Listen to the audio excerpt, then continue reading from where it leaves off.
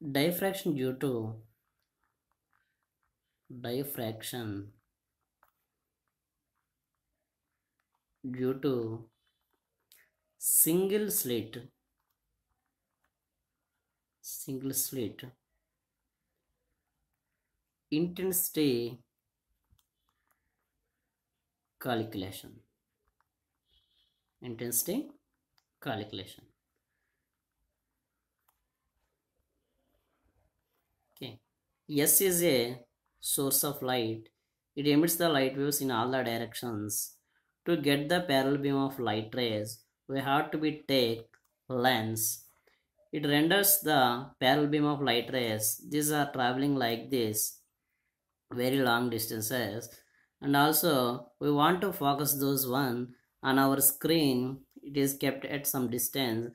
That means mn is the screen we want to focus those rays on that screen. We have to take one more lens. This is the l1 this is the l2 by using this one we, can focus that beam at a position p naught.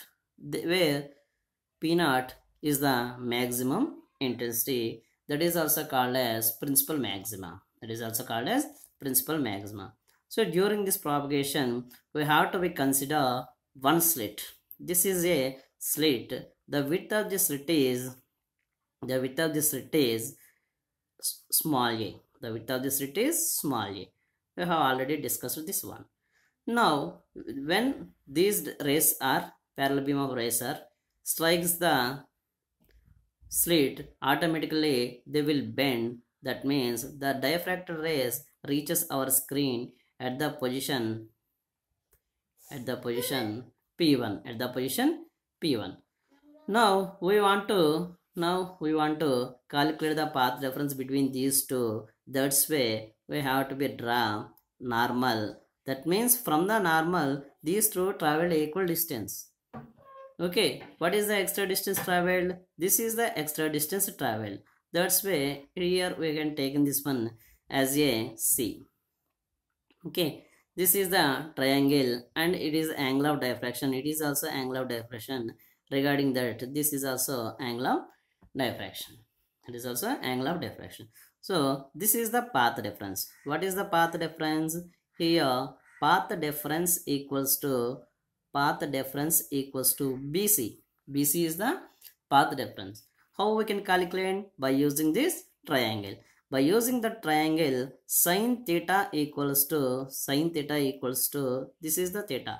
Opposite is bc by hypotenuse. Hypotenuse is ab that implies that implies ab sine theta equals to bc ab sine theta equals to bc that implies path difference bc equals to path difference path difference bc equals to ab which is equals to the slit width of the slit. That means a sine theta this is the path difference there is a relation between the path difference and also the phase difference. That is phase difference equals to phase difference equals to 2 pi by lambda into path difference this is the condition.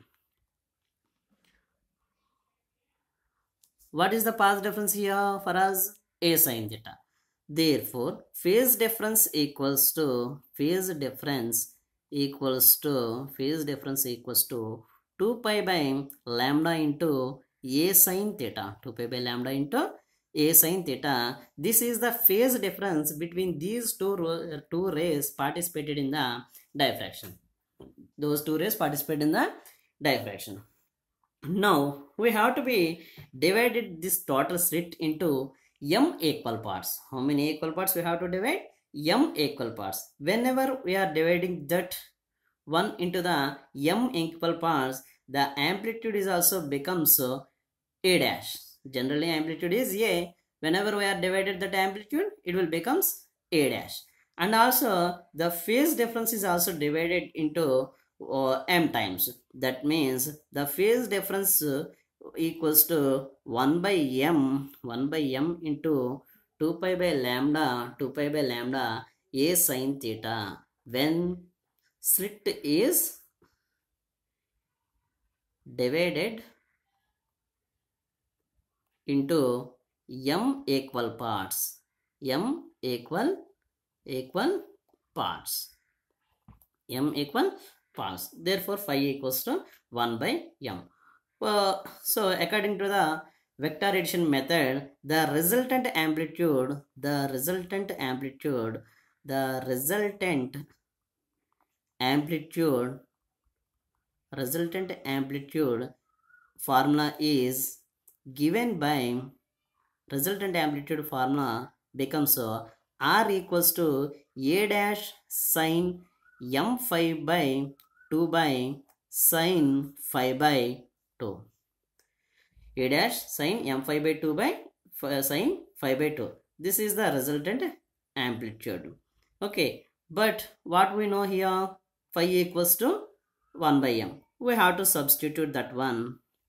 R equals to a dash sine m by 2 m by 2 into phi means here 1 by m 2 pi by lambda a sin theta 2 pi by lambda a sin theta m m cancel 2 2 cancel by sin sin 5 by 2 phi phi means 1 by m into 2 pi by lambda a sin theta a sin theta by 2 2 2 once again here cancel that implies that implies r equals to a dash sin pi a sin theta by lambda pi a sin theta by lambda pi a sin theta by lambda by sin pi a sin theta by m lambda pi a sin theta by m lambda.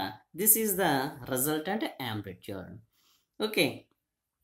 Here pi a sin theta pi a sin theta by lambda we can simply call as alpha by lambda equals to pi a sin theta by lambda equals to alpha say we can say alpha pi a sin theta by alpha lambda equals to alpha then r equals to r equals to a dash r equals to a dash sine of sine of pi a sin theta by lambda in place we can write alpha by sine of sine of pi a sine theta by m lambda. Pi a sine theta by m lambda. So pi a sine theta by lambda in place we can write alpha. Alpha by m. That implies r how we can write is a dash by sine alpha by sine alpha by alpha by m. Alpha by m. Why? Because for small values of theta for small values of theta values of theta sine theta equals to sine theta equals to theta. According to that according to that sine alpha by m equals to alpha by m. Now we can write this m above side. That means as a numerator we can take ma dash equals to sine alpha by alpha. Uh, that implies r equals to we can say this one a dash uh, ma dash equals to a r r equals to a sine alpha by alpha. This is the resultant amplitude displacement. Okay but we know that i equals to r square. What is the relation between the intensity and uh, amplitude? I equals to square of the uh, intensity is directly proportional to the square of the square of the amplitude that means i equals to r square. That implies a square sine square alpha by alpha square. Sine square alpha by alpha square. i equals to a square sine square alpha by alpha square. Okay. Now condition for maximum intensity. Condition for principal maxima. Condition for principal maxima to get the maximum intensity where we can get the maximum intensity we can get the maximum intensity at the center at the center. That means the rays not participate in the diffractor directly. They reaches our screen at the position p naught at the position p naught. That's where we are getting the maximum intensity. Is it or not? Okay. So when we will get the maximum intensity is when r is maximum when r is maximum we can get the maximum intensity. When r is the maximum we can get the maximum intensity. So when r ma becomes maximum r is maximum. When means r is maximum when alpha becomes uh, alpha tends to 0 then only r becomes uh, maximum. Now we have to we apply the limit. Limit alpha tends to 0 alpha tends to 0 sin alpha by alpha equals to 1 sin alpha by alpha equals to 1 when sin alpha by alpha equals to 1 means i equals to a square into 1 that means i equals to a square. Therefore i equals to a square. I, that means maximum intensity. When alpha equals to 0 actually alpha means what we know? As we know as we know alpha equals to alpha equals to pi a sine theta by lambda pi a sine theta by lambda that means alpha equals to 0 means pi a sine theta equals to 0 so pi is constant a is just slit with lambda is the wavelength so whenever these two are not zeros, automatically theta equals to 0. So when theta equals to 0, we can get the condition for the principal maximum. Observe here, if theta equals to 0, that means the rays are not participated in the diffraction. They are directly reaches our screen. That's why we are getting the maximum intensity. Okay, next condition for condition for minima condition for minima for condition for minima are secondary maxima condition for secondary maxima that is good okay condition for secondary maxima to get the secondary maxima where we can get the secondary maxima? Okay. Where we can get the secondary maxima is here. Here we can get the secondary maxima. Okay what is the condition for to get the secondary maxima? We have to be different differentiate for secondary maxima for secondary maxima. We have to be differentiate that one. Di by d alpha equals to 0 that means d by d by d alpha of i means a square a square sine square alpha by alpha square sine square alpha by alpha square equals to 0. So, for secondary maxima, di by d, di by d alpha equals to uh, 0. That implies d by d alpha equals to a square. So, that implies, that implies, we can, if you differentiate that one, we can get, we can get d i by d alpha equals to i naught into 2 sine alpha by alpha into alpha cos alpha minus sine alpha by alpha square equals to 0. That means here either maybe 2 sine alpha by alpha 0 or this term becomes to 0. Why? Because I naught is not 0. That means here either maybe sine alpha is 0, either maybe sine alpha is 0 or beta uh, sorry alpha cos alpha minus sine alpha equals to 0 this is not 0 why because if it is becomes 0 automatically we can get the maximum intensity that is principal maxima. So that's why alpha cos alpha minus uh, sine alpha equals to 0 that implies alpha cos alpha equals to sine alpha. That implies alpha equals to sine alpha by cos alpha. That implies alpha equals to tan alpha. Alpha equals to tan alpha this equation this equation is called transcendental equation the value of alpha satisfying the above equation are we have to be obtained by using the graph if we draw the graph between the if we draw the graph between the alpha and y tan alpha, how it came is, if we draw the graph, the graph will comes like this. alpha values we have to take on x-axis y-axis so 0 this is the pi by 2 this is the pi by 2 position this is the pi this is the 3 pi by 2 this is minus pi by 2 this is minus 3 pi by 2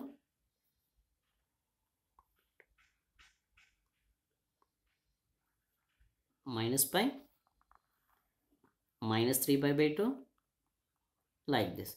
So if you substitute the different values of alpha and uh, on that equation we can get the graphs will be like this. How means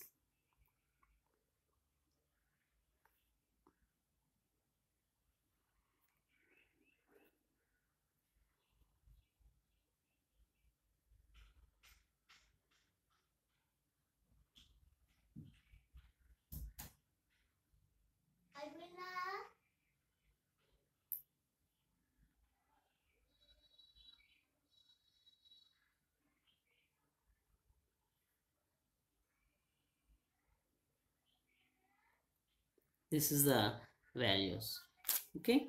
So this is the concept about the intensity. And also here we have to calculate the minimum intensity also. The condition case 3 case 3 for condition for minima. Condition for minima. So when we will get the minimum intensity that is the condition now we have to be discussed the intensity will be minimum. The intensity will be minimum. That means when when this becomes uh, 0 when this becomes 0 for example sin alpha equals to 0 automatically uh, this term becomes 0 so whenever this term becomes 0 a square into 0 0 that means intensity equals to 0 that means the intensity will be minimum. The intensity will be will be minimum. When means when means sin alpha equals to 0 that implies alpha equals to plus or minus m pi where where m equals to 1 when m equals to 1 2 3 so on. Not 0 why? Because when m equals to 0 sorry alpha ah, yeah, yeah. when uh, m equals to 0 alpha equals to 0 alpha equals to 0 means principal maximum. So that's why. Therefore therefore from that alpha equals to 0 suppose alpha equals to pi. Sine 180 0 alpha uh, alpha equals to pi. Uh, alpha equals to 2 pi. 360 degrees Sine 360 also 0 that means sine alpha equals to sin alpha equals to sin plus or minus uh, sin plus or minus uh, m pi sin plus or minus m alpha equals to what we know pi a sin theta what we know pi a pi a sin theta by lambda equals to plus or minus m pi pi pi cancel that implies a sin theta equals to plus or minus m lambda plus or minus m lambda where where m equals to 1 2 3 we can get the minimum intensity. Okay so the diffraction intensity distribution curve will be like this. That is the intensity. At the center we can get the maximum intensity. From the center on the left side and the right side the intensity will be decreases like this on both sides. So this is the intensity distribution curve for the diffraction it is also you have to be remember. Okay? Thank you